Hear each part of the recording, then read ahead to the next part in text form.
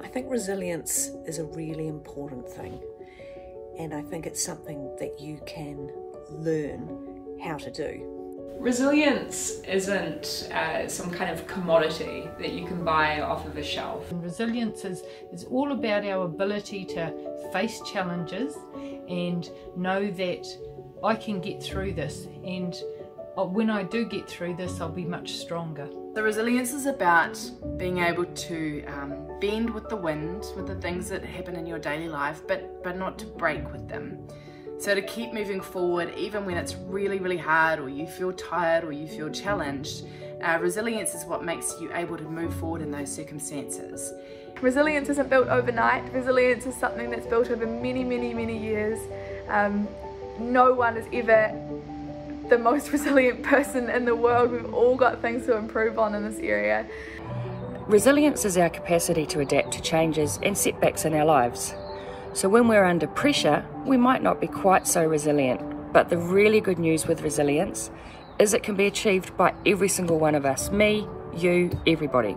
Some of us will have had really tough things to deal with, um, but it's easy to say these things make us stronger. And sometimes uh, having difficult times is what makes you understand and feel better through the good times. Having tests and trials is what really makes later on you able to cope with other things and to really appreciate people and those around you. Resilience, I think, fundamentally from my experience, is a community. Resilience is about recognizing that you can't take on the whole world by yourself and you shouldn't, especially if you want to bring about sustainable change that incorporates a diversity of different opinions and works for as many people as possible.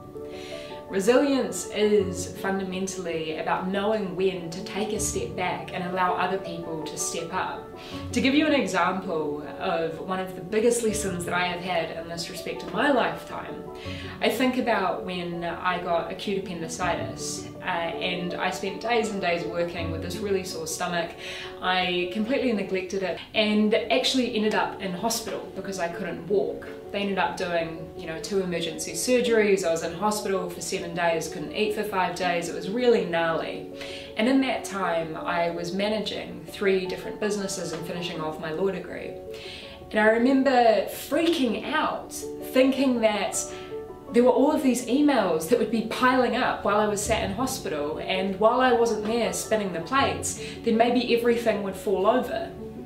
And then I got out of hospital and realized something spectacular that I've never forgotten to this day. And that is, nobody really noticed.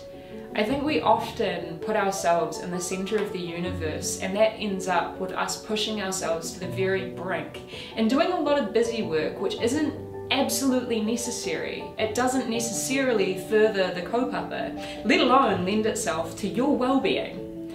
So resilience, I think, is about recognizing how you can best contribute, but trying not to do it all by yourself.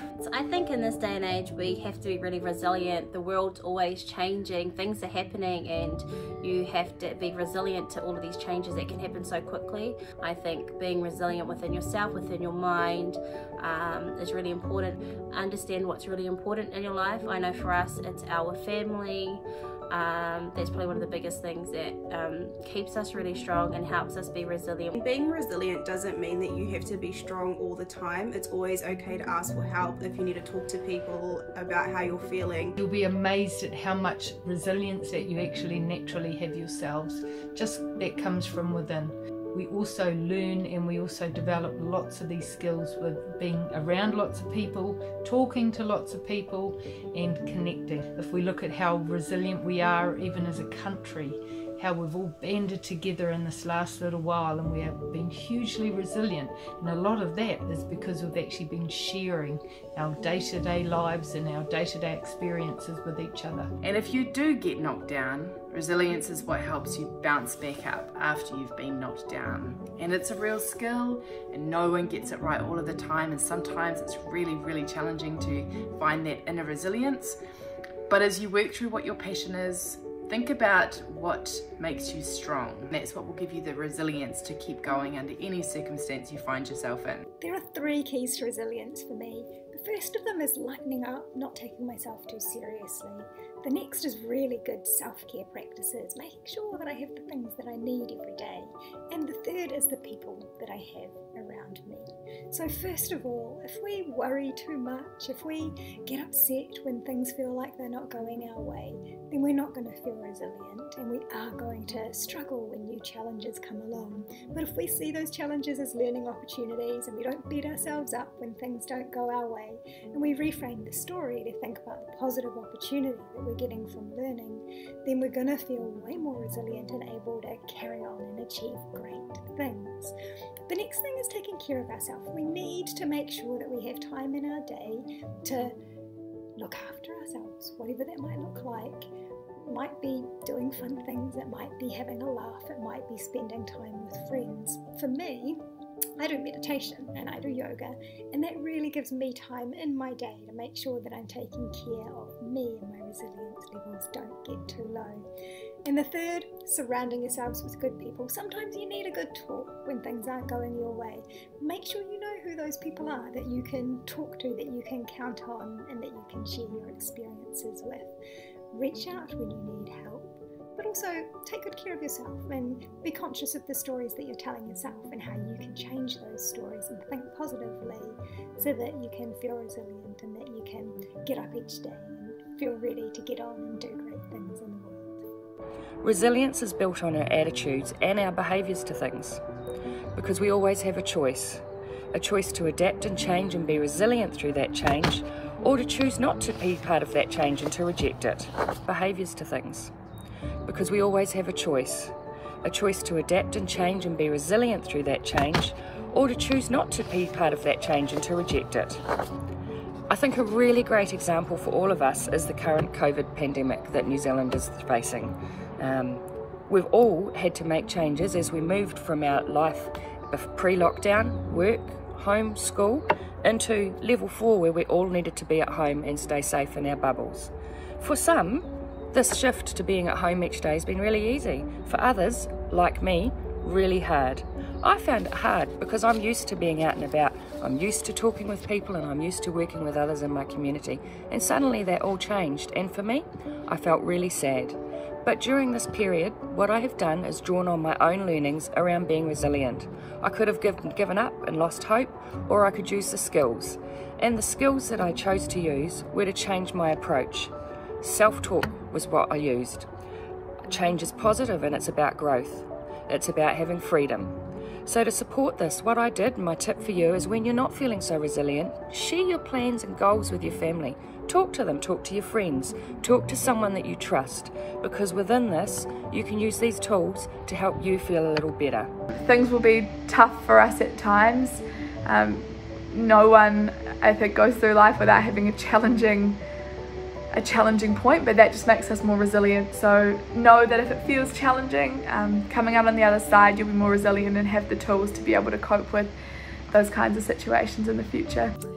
For resilience to build, I think it's really important to be able to know yourself.